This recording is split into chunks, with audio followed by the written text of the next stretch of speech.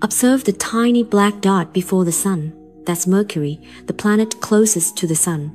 It races at 47 kilometers per second, the fastest orbiting planet in the solar system. It takes just 88 days to circle the Sun. But behind its seemingly calm orbit lies a cosmic enigma challenging human understanding. Mercury's orbit is the most elliptical in the solar system, 46 million kilometers at perihelion, 70 million kilometers at aphelion.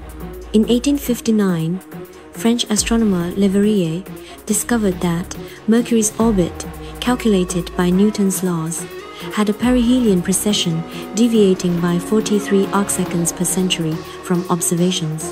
Scientists speculated a hidden planet, Vulcan, caused gravitational interference, even questioning Newton's law of gravitation. But all attempts failed. The mystery remained unsolved. In 1915, general relativity emerged.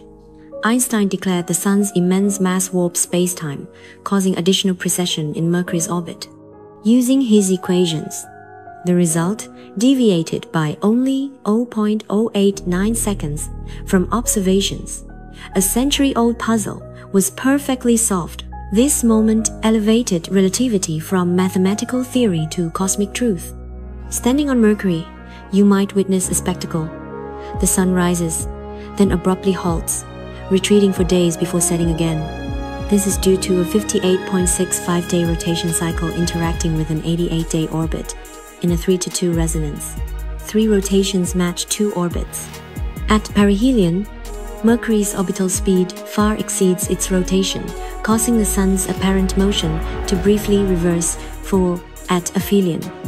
Rotation outpaces the orbit. This tug of war makes a day on Mercury last 176 Earth days. Day-night temperature swings reach 600 degrees Celsius, 430 degrees Celsius by day, negative 180 degrees Celsius by night. Yet, in 2012, the MESSENGER probe found Mercury's North Pole's permanent shadow holds ice layers meters thick. This ice, likely from comet impacts, over billions of years, has been preserved like relics in extreme conditions.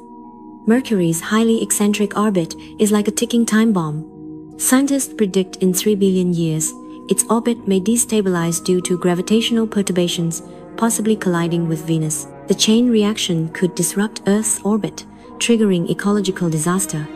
But humanity may have already migrated to the stars, mere spectators to this cosmic drama. Will Mercury truly spark a catastrophe? Share your thoughts in the comments below.